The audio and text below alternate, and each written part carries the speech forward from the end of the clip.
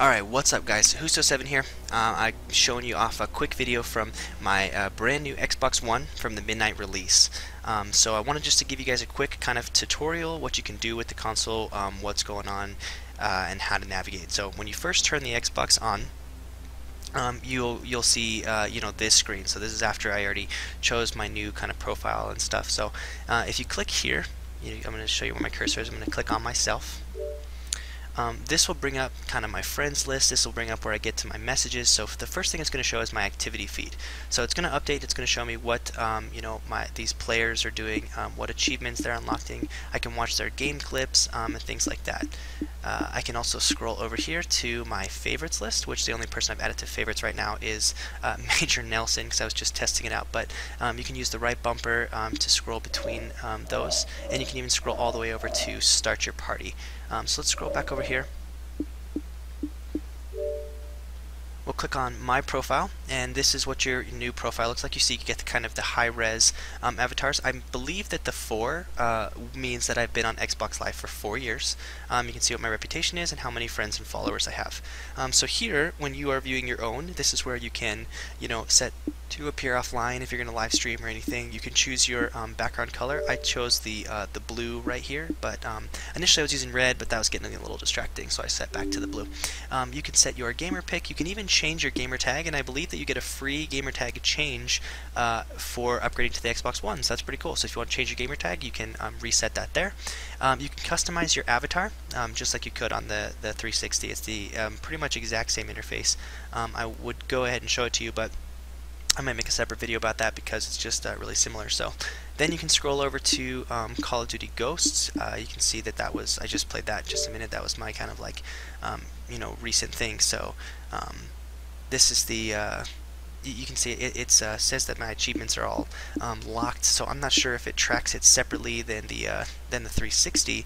Um, I'll have to investigate that and let you know, and it also shows the challenges available for that game. So we'll go over what that stuff is in just a minute, but I just wanted to show you that you can view the activity there from um, you know yourself. So if you want to get back to home, um, and I'm just going to show you controllers right now. There is uh, lots of voice commands and Kinect gestures you can do, but for right now, just push the Xbox button just like you're used to, and this will kind of uh, snap it into the center and get you right back to where um, we were.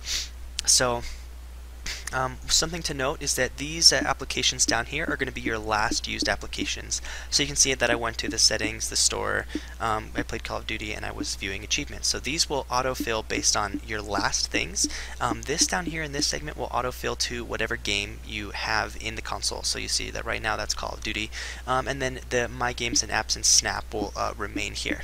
So if you want to, the Snap function is what you can do to have two things um, running at the same time. It's like a multitask. So if I want to, I can actually snap TV there we go. Grip, and I've got um, TV snapped, and then I can double tap the Xbox button and switch between, you know, having my cursor on this side of the screen or having my cursor on this side of the screen. So let's uh, let's close that snap real fast because that was a little bit annoying. But you can see that you can snap all of these different um, applications, and I'll show you how to get applications um, here in a little bit. So let's get back to our home screen. Let's unsnap that and click our home button again. Okay, now there's uh, two, you can see up there it says pins and store. Pins is going to be to the left if you click the left bumper, this is where you can pin things.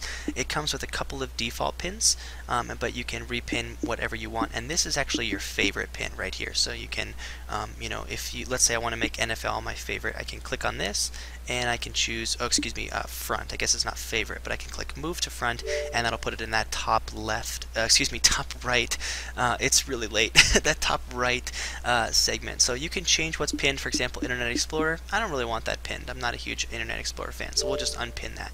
Um, and you can add anything you want into these uh, pins so that you have quick launch access to them. Now pins is for uh, games, it's for TV, it's for um, your apps, it's for everything. So you can pin anything you want. Now if we click the right bumper, we'll scroll over here to the store. In the store, this is where we can, um, just like kind of on the, the 360, you can view the games, the movies, the music, and even the apps. Um, you also see that you have down here the search. You can use the voice command if you want to search, or you can um, click here and type in what you want to search as well. Um, you can also um, snap search, um, so that's pretty cool, and I, will show you how to do that in another video. But when we're back at our home thing, I have settings here on the quick launch, but if you want to get to your settings, I, I don't know why I was confused initially. I was like going to the right and going to the left and couldn't figure it out. Well, if you just click the uh, the start button or the menu button, um, I think it's called menu now, you can see that settings is uh, right there. And you can also switch profile from right here too. Um, another way that you can switch profile is to bring your cursor up to this, um, and this is where this is where you can add a new gamer tag, you can add a guest, um, and you can even specify if you have the auto sign in um, why you are not recognized, and it will give your Kinect an opportunity to get to know you a little bit better. So we'll go ahead and close that for now. And then this is your sort of like recently used um, applications and notifications. So if you, you know, if you're used to getting a message, um, you can see that these uh, were applications that I downloaded, and I got a notification that um, they were uh, ready for me. So if you you know get a get like a message from uh, you know a party invite, it'll pop up here in the notifications tab. So we'll go ahead and close um, those notifications.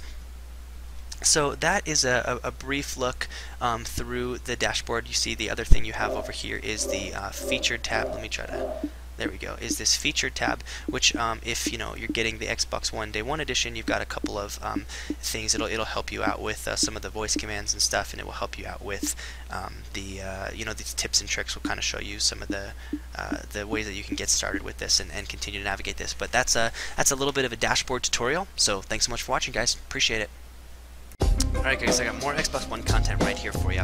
The video on the left is how to add and pin apps. Apps is what's going to run kind of everything with your Xbox One, so you're definitely going to want to check this out so you can uh, know how to work these. And the video on the right is your setup guide, how to get things like your uh, TV or your cable box or even your uh, audio receiver to work with your Xbox so it can be powered by that. So check both these videos out. Thanks so much.